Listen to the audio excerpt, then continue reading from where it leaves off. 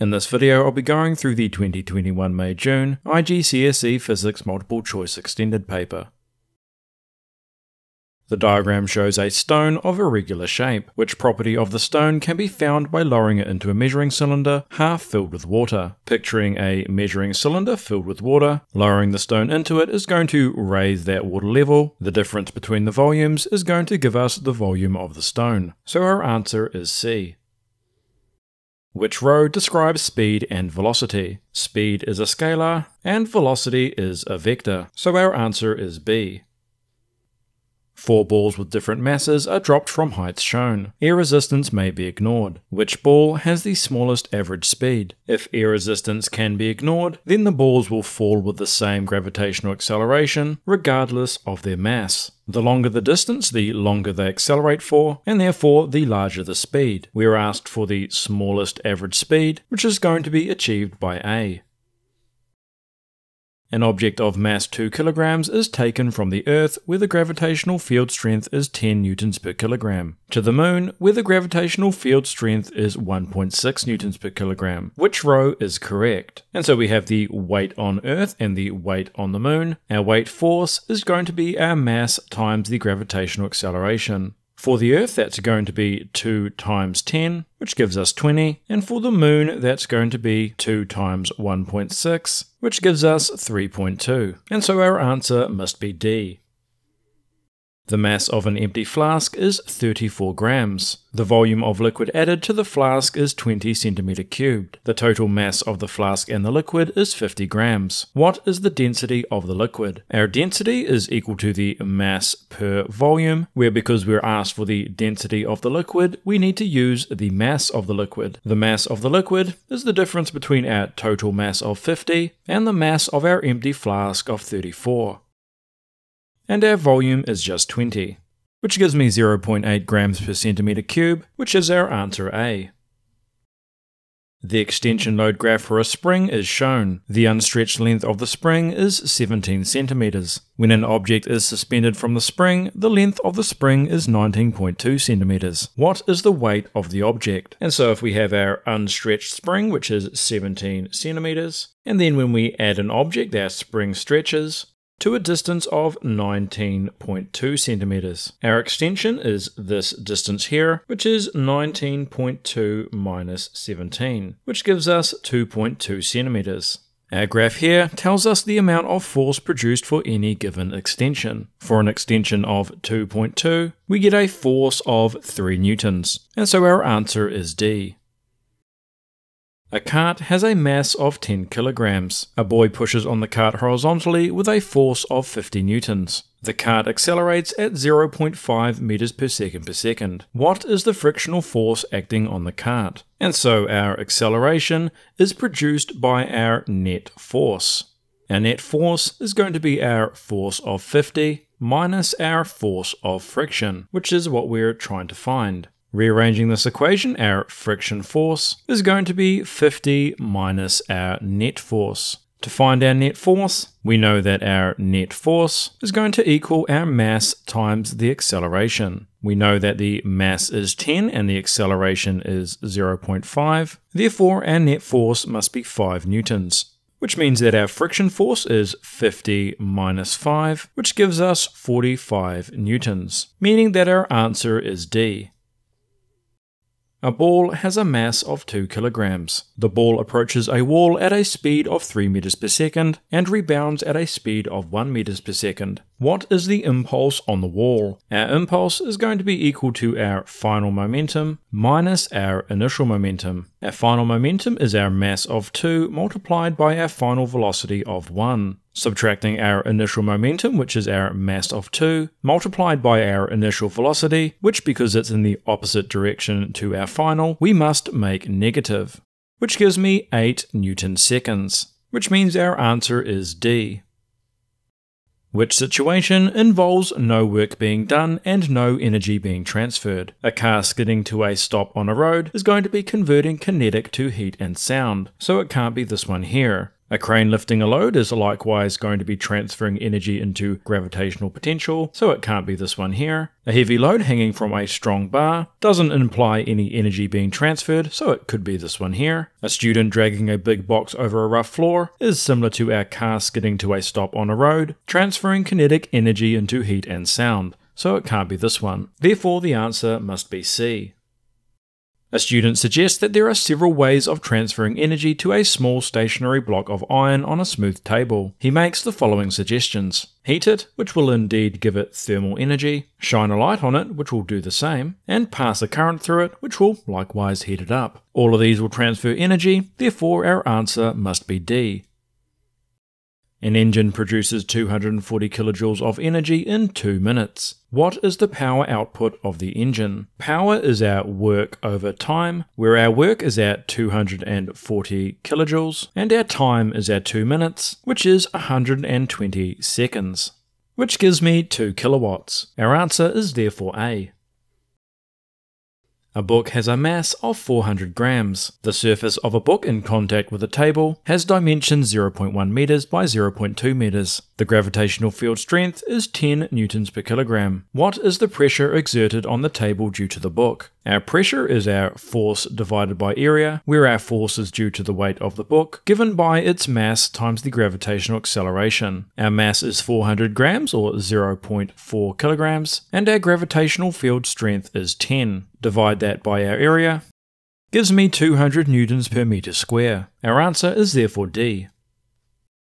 The diagram shows a mercury barometer, at which point is the pressure greater than atmospheric pressure. Our greatest pressure is going to apply at our point D, because it's both going to experience the pressure from the atmosphere, but also the pressure from the mercury above it. The table gives information about molecules, which row describes a gas. In a gas, the force between the molecules is negligible, and the distance between molecules is far apart. Therefore, our answer must be C. Very small pollen grains are suspended in water. A bright light shines from the side. When looked at through a microscope, small specks of light are seen to be moving in a random jerky manner. What are the moving specks of light? Our moving specks of light are our pollen grains reflecting our bright light. The reason they're moving is because they're being hit by water molecules, not by other pollen grains. Therefore, our answer is B. Why are small gaps left between the metal rails of a railway track? Small gaps are there to account for expansion. Expansion is going to occur when the rails are heated up, which occurs more on a hot day than it does a cold day. Therefore, our answer must be A. A block of metal absorbs 2000 joules of thermal energy. The temperature of the block rises from 10 degrees Celsius to 20. The mass of the block is 2 kilograms. What is the specific heat capacity of the metal? Specific heat capacity is given by the change in energy divided by the mass times the change in temperature. Our change in energy is 2000, our mass is 2, and our change in temperature is 10, which gives us 100 joules per kilogram degree Celsius. So our answer is B. Which statement about boiling and evaporation is correct? Boiling requires a supply of thermal energy, but evaporation does not. Both require energy. Evaporation takes place at the surface of a liquid, but boiling takes place throughout the liquid. That is indeed correct. When water boils in a kettle, its temperature decreases. It does not. When water evaporates, its temperature increases, and it does not. Our answer must be B. A metal rod is heated at end X. Why does end Y of the metal rod become hot? Thermal conduction involves a vibration of both the positive ions and also the movement of electrons, not just the positive ions only. Our answer is therefore A.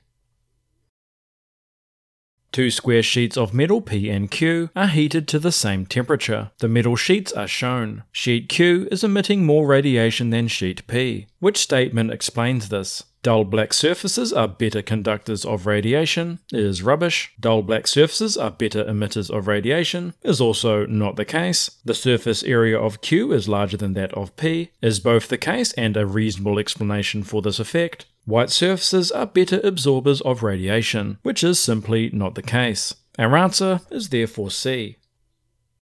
A water wave passes into a region where the wave travels more slowly. As it passes into the slow region, what happens to the frequency and what happens to the wavelength of the wave? The phenomenon occurring is refraction, throughout which the frequency remains the same. Because we know that our wave speed is our frequency times wavelength, and that our frequency remains the same if we're moving into a slow region, then our wavelength must decrease. And so our answer is C. Light travelling at 3 times 10 to the 8 meters per second strikes the surface of a glass block and undergoes refraction as it enters the block. The diagram shows a ray of this light before and after it enters the block. What is the speed of light in the glass? The ratio of these sines of our angles is equal to the ratio of our velocities. Rearranging that for velocity gives me 2 times 10 to the 8 meters per second, and so our answer must be B. The diagram shows a narrow beam of light incident on a glass air boundary. Some of the light emerges along the surface of the glass and some is reflected back into the glass. Which row is correct? This is an example of total internal reflection, is not the case because we still have a refracted ray. Angle theta is the critical angle, is true because our ray is refracting along the boundary. So our answer is A. An object is placed in front of a thin converging lens. The diagram shows the path of two rays from the top of the object. An image of the object is formed on a screen to the right of the lens. How does this image compare with the object? Both of our rays are going to continue as they are, giving us an image that is larger and is inverted. So our answer must be A.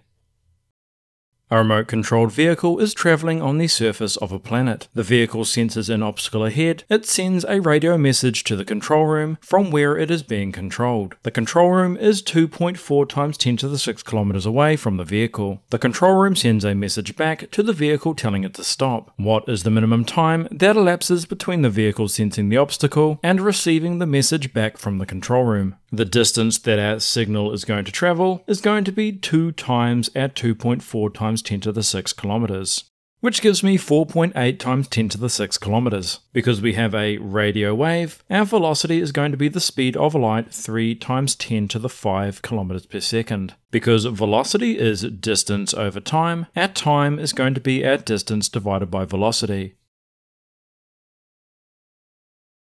which gives us 16 seconds, so our answer is D.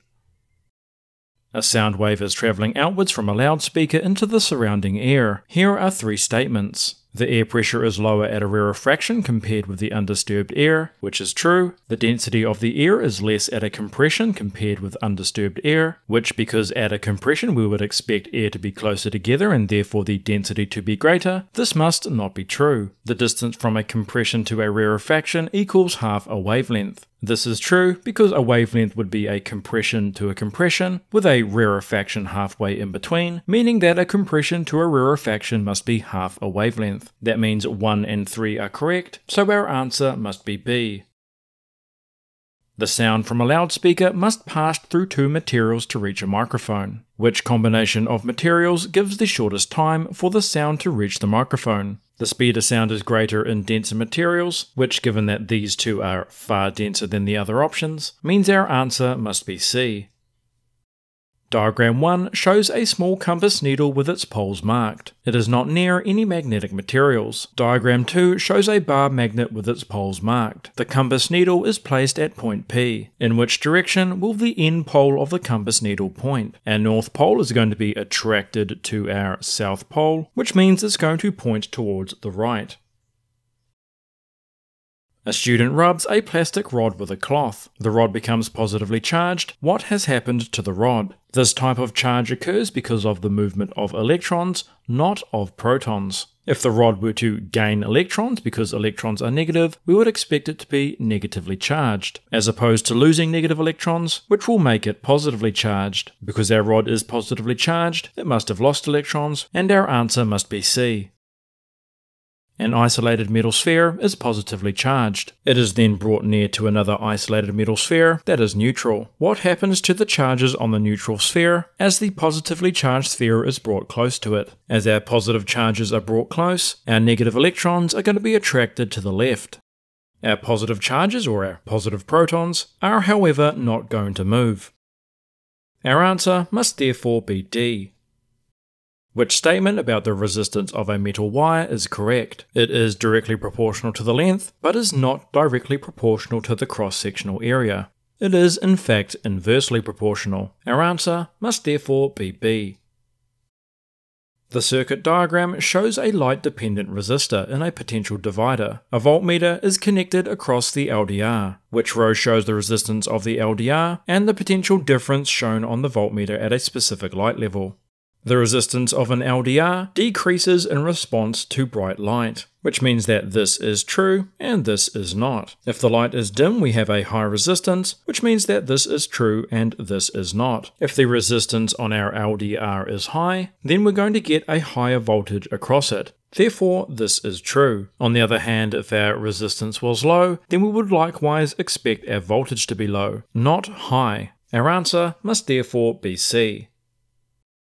Three NAND gates are connected in a single chip as shown. The whole chip behaves as a single logic gate. Which type of logic gate does the chip act as? Because our inputs are tied together, if this is on then this is off, and if this is off then this is on. And the same for input 2. And so the only way that our output here is off is if both of these are on. That is only possible when both of these are off, which means that this must be an OR gate. A solenoid is connected to a very sensitive ammeter. A rod is inserted into one end of the solenoid. The ammeter shows that there is a small electric current in the solenoid while the rod is moving. Which rod is being inserted? The effect here is electromagnetic induction, which, as the name suggests, requires that the material be magnetic. And so our answer is B. The diagram shows an electric generator with the coil in a vertical position. Which row describes the generator? As our coil rotates, the current is going to alternate direction, which means we must have alternating current. The voltage is going to be zero when our coils are not cutting across our magnetic field, which occurs when their velocity is parallel, which is the case when our coil is vertical. So our answer must be B. The diagram shows a transformer. There are 460 turns on the primary coil and 24 turns on the secondary coil. The primary voltage is 230 volts. What is the secondary voltage? The ratio of our voltages is equal to the ratio of our turns. Multiplying both sides by 230 gives me 12 volts, so our answer is B. The charge on a proton is E. What is the charge on an electron and what is the charge on a neutron? An electron is negative the charge of a proton and the charge on a neutron is zero. So our answer must be D. Four students are asked to comment on the processes of nuclear fission and nuclear fusion. Their comments are recorded in the table. Which row is correct? During fission, energy is not absorbed, it is released, and it involves a large unstable nuclear splitting, not joining. As with fission, energy is released in fusion, it is not absorbed. It involves two light nuclei joining, not a large unstable nuclear splitting. Our answer must therefore be D. Radon decays by emitting an alpha particle. Which nuclide is formed in this decay? If our radon 21986 decays into some mystery element and an alpha particle, our alpha particle has an atomic mass of 4 and an atomic number of 2. To keep our atomic mass the same on both sides, the atomic mass of our mystery element must be 215, 219 minus 4, and our atomic number must be 86 minus 2, which gives us 84. Therefore, our answer must be polonium. The graph shows the activity of a radioactive source over a period of time. What is the half-life of the source? Half-life is defined as the time for a 50% reduction in a radioactive nuclide, which can be indicated by its radioactivity measured in counts per second. So if we start at 120, 50% of that is 60, and 50% of that is 30. What you might notice is that each halving is accompanied by a 2 minute duration. Our half-life is therefore 2 minutes. And we're done.